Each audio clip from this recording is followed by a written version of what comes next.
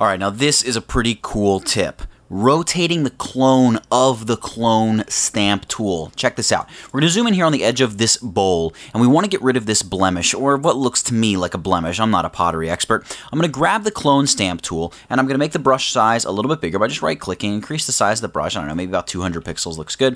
All right, cool. Now I'm going to hold down my Alt Option key and sample the highlight running around the edge of the bowl. Now if I paint over this, obviously you see the issue. The highlight's not running the right direction. It's all messed up. Well, enter Window, uh, clone source. The words got away from me for a second. And you have this angle of clone option. Let's increase that to, I don't know, 16 or 17%, something like that. Ignore your document if it looks like it's moving. It's not.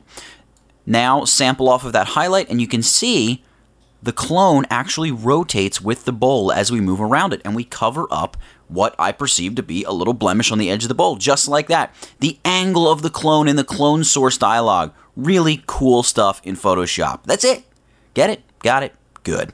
Nathaniel Dodson, tutvid.com, and I'll catch you in the next one.